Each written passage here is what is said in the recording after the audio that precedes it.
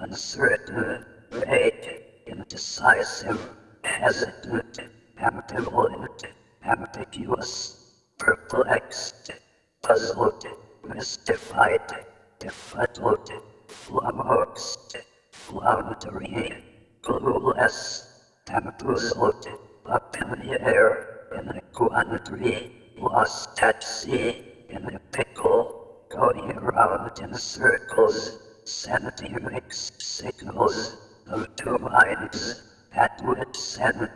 dazed and confused, at sixes and sevens, on pins and needles, on shifting sands, between rock and a hard place, blowing hot and cold, ticking around,